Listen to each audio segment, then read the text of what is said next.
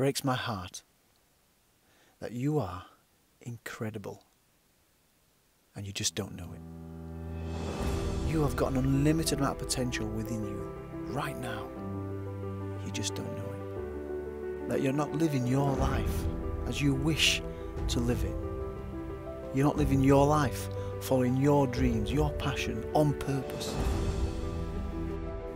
one of the reasons is you have that tiny little bit of self doubt that stops you moving forward, following your dreams, and you allow it to grow and to become something far bigger than it has the right to be.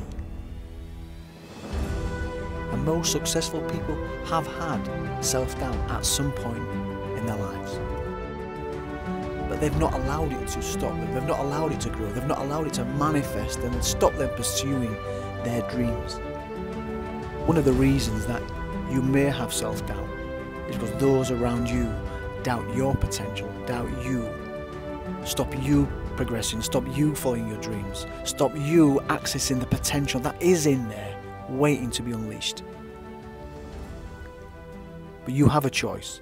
You can listen to those doubters. You can listen to that self doubt, that negative self talk, or you can decide, I'm not having this.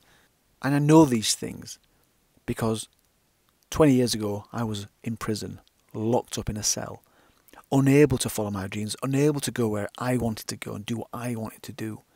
And what breaks my heart is that most people live a life as if they're in prison with that self doubt, with those imaginary bars stopping themselves following their dreams. So, what is it you want to do? Are you going to write that book? Are you going to become a film director? Are you going to become a singer? Travel the world? Make a difference in the community? What's stopping? You have a choice. You can continue on this path, listening to that self doubt, allowing that self doubt to stop you leading the life that you want to lead. Or you can be inspired by my words and let those words become your words where you go out and you follow your dreams. You are not in prison.